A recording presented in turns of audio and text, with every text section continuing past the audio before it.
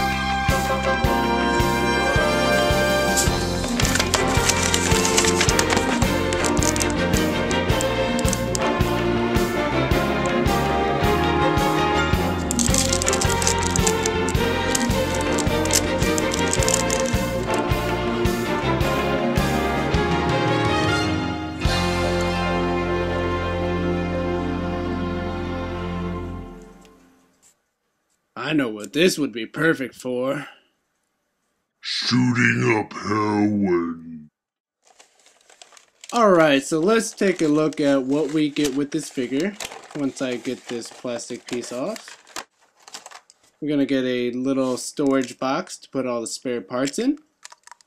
And we get a 10 point coin. Woo. Then we get some fake blood particles which look really really nice. This one's for the arm and this one's for the head. Some barf particles and a claw for scratching. And then the Eva and another claw. And that's that's it I guess. Alright, the Eva here has some plastic wrapping. What the heck?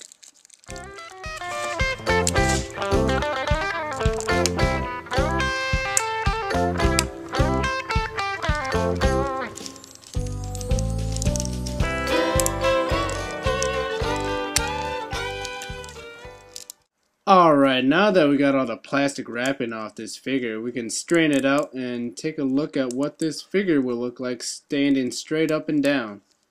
And I think it looks kind of goofy because there's this huge gap in the midsection. I believe this was meant to be a bent, hunched back figure. And at the arms here, we're going to get a double Revoltech joint, which is really nice. You're going to be able to swing these arms around like crazy because they got so much articulation in them. And the hands here is on a pivot joint where you can just rock it back and forth. And it rotates 360 degrees. But this shoulder joint is really nice. You can move it up and down like this.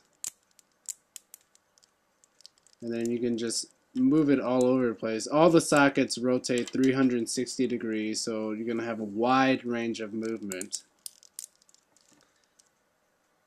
Only two of these plugs in the back move around. They rotate and they move up and down. They're just like little sockets. None of the other ones move though. Nope. Only those two. And the leg, you can kick it up that high. And you're going to get a little twisting action. You can rotate it about 180 degrees around. And you're going to get a nice 180 degree bend at the knee here with another double Revoltech joint. And then you can spin them all around. They're all just sockets, so they all spin.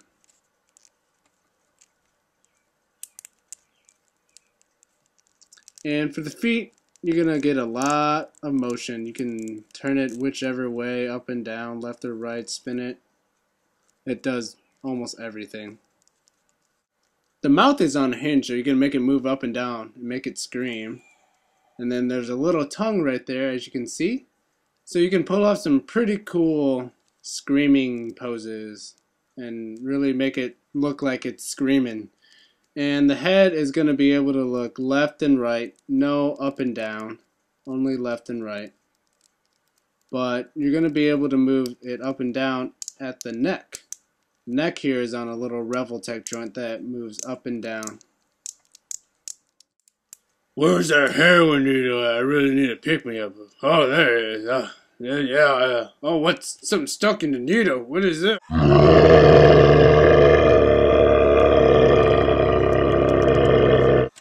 Well, the blood effect part for the head attaches to the top of the head through a hole in a peg and sometimes it's a bit difficult for this to stay in but that's how it looks and the one from the mouth is even harder to get in and keep in so you'll be lucky if it stays in there I really like the blood effect part for the arm. It looks great. The splatter effect is really, really nice. And, and it plugs in through a Revoltech joint so you can maneuver it all around and pose it however you want.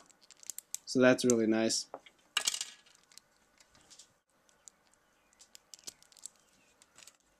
Then you get some action parts for the bottom of the feet and just plug it in right to the bottom, real simple. And it's supposed to be like a speedy takeoff or a crash landing where there's a high impact. Then you also get the basic Revoltech action base with all the same pieces, two Revoltech joints to put them together. And just plug everything in.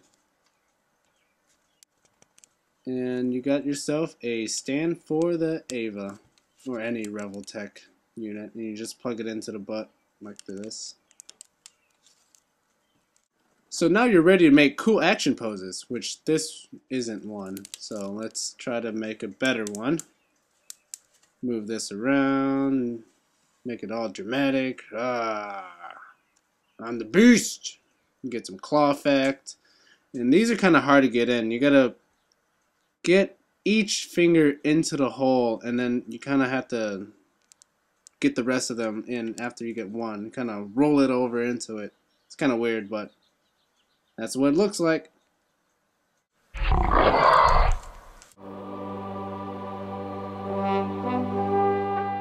This was my first Revoltech figure ever, my very first one, and I have to say, I am very, very impressed with this. This is a very unique and awesome figure. I really, really love it there's a huge range of articulation for it. With all these Revoltech joints that you can move around and lock into place, you can pose it however you really want to. It's just up to your imagination how you want to pose it, and you're going to be able to achieve it because these things are awesome. I'm probably going to pick up a few more of these. I've watched all of Wizartar's reviews on the Eva Revoltech figures, and they look great, so plan on getting some more. I don't really have any cons for it, um, except for the effect particles for the head and the mouth. They don't like to go in very well. They don't like to stay in. And yeah, they're tough to get in, tough to keep in. That's what she said. And yeah, that's about it for the cons. Other than that, it's a fantastic figure. I highly recommend these. If you haven't bought or played around with or handled a Revoltech figure before, go get one. They are incredible. They're really fun, they're really posable, and they really do look great. The paint job on this is really, really nice. I did not see any imperfections at all on the paint job. It just looks great. Everything's covered well, everything's colored really, really nicely. And overall, it just looks great. So I highly recommend it. Go check one of these out, buy one, play with it, have fun. I know you'll love it. And thanks for watching. See you guys next time.